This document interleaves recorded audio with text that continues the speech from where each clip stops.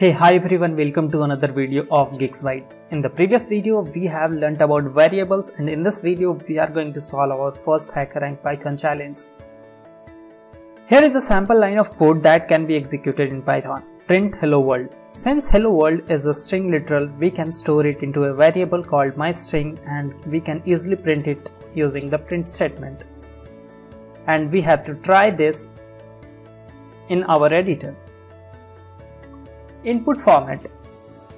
You do not need to read any input in this challenge, but just for your information, to read any input, we use the input method.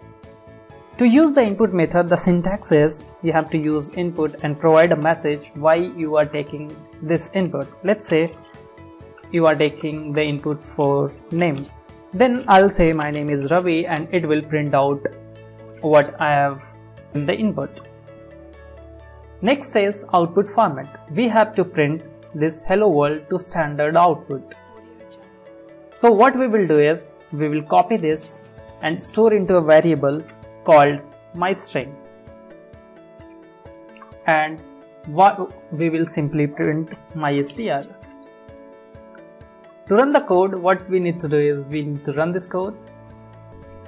Sample test case 0 pass we will finally submit this code